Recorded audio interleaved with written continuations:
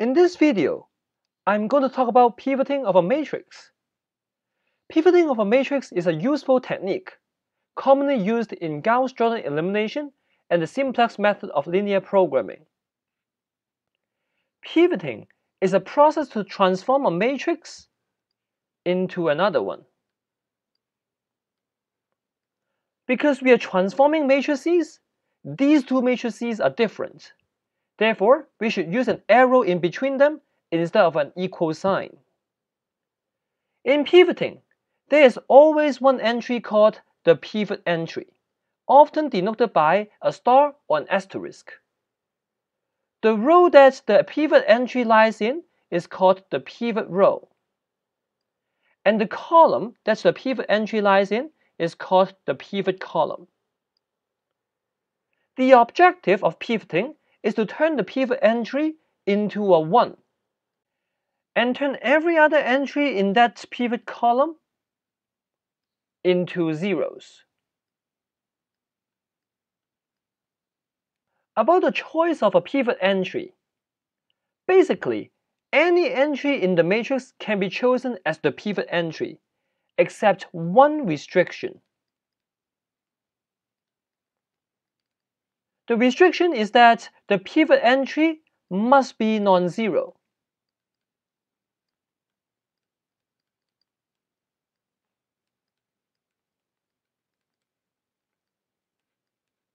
In other words, if this 4 were a 5 or negative 2, then we can still pivot at it.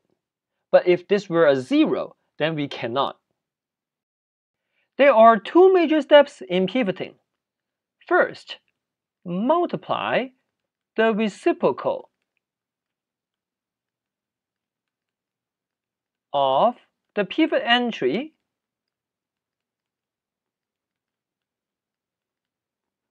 to the pivot row.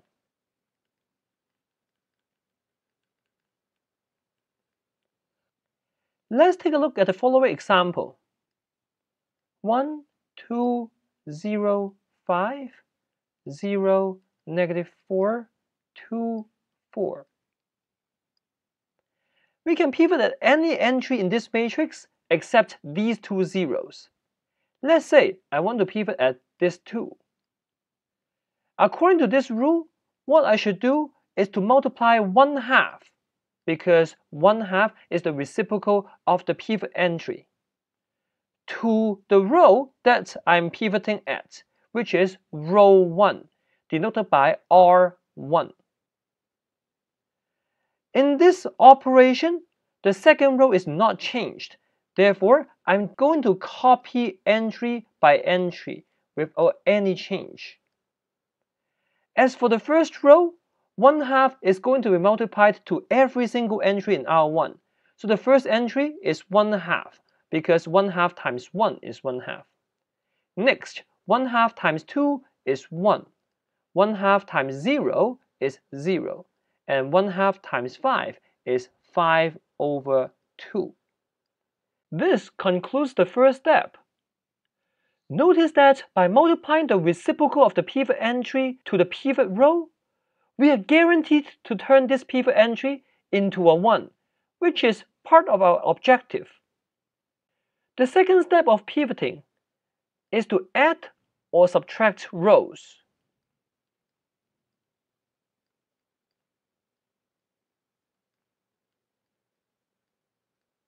This is slightly more complicated, but it's not that bad. Let us continue with this matrix.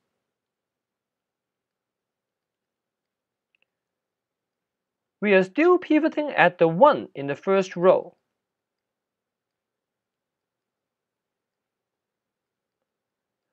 Recall that the other part of the objective is to turn every other entry in the pivot column into a 0. In other words, we want to turn this negative 4 into a 0.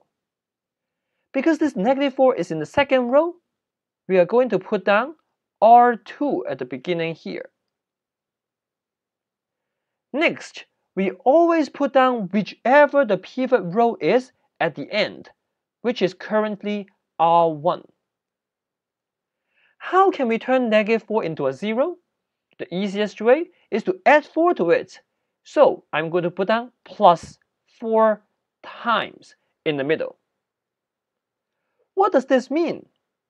Plus 4 times R1 means that we are going to change R2 by adding 4 copies of R1. Because that is a little bit hard, we are going to write down an auxiliary row down here to help ourselves. 4 times of R1 means 4 times of 1 half, which is 2. 4 times of 1, which is 4. 4 times of 0 is 0. 4 times of 5 halves is 10. And this auxiliary row will be added to R2 to complete this operation. So, in the new R2, we are going to have 2 plus 0, which is 2, 4 plus negative 4, which is 0, 0 plus 2 is 2, and 10 plus 4 is 14. How about the first row? The first row is not changed according to this rule because R2 is the only changing row. Therefore, all we need to do is to copy entry by entry. At this point, we are done with our pivoting for this matrix because we have achieved our objective. The pivot entry turns into a 1 and every other entry in this pivot column turns into a 0. If you like this video, please subscribe to our channel and we will learn more fun math together. If you would like to see more examples about pivoting, please click on the link at the top right corner. Thank you very much for watching.